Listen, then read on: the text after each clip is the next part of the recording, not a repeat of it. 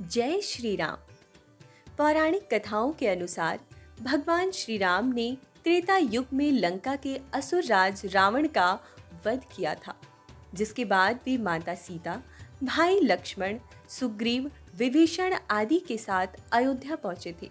चौदह वर्षों के वनवास के बाद उनके अयोध्या आगमन पर कार्तिक अमावस्या को पूरे नगर को दीपों से सजाया गया था। हर घर में खुशी के दीप जले थे। इस वजह से हर साल कार्तिक अमावस्या को प्रदोष काल में दीप जलाकर दिवाली का उत्सव मनाते हैं।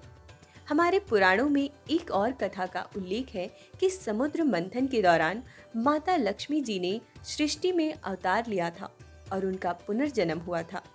इस कारण हर घर में माता लक्ष्मी की पूजा अर्चना की जाती है। दिवाली के दिन माता लक्ष्मी और गणेश जी की पूजा करने से सुख, समृद्धि धन संपत्ति आदि में बढ़ोतरी होती है।